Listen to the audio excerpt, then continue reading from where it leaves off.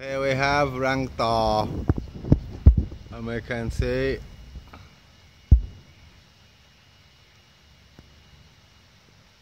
total immensely massive bee's nest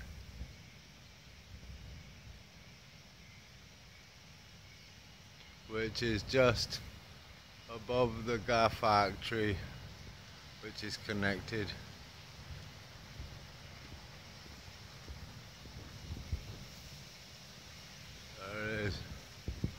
what an amazing thing.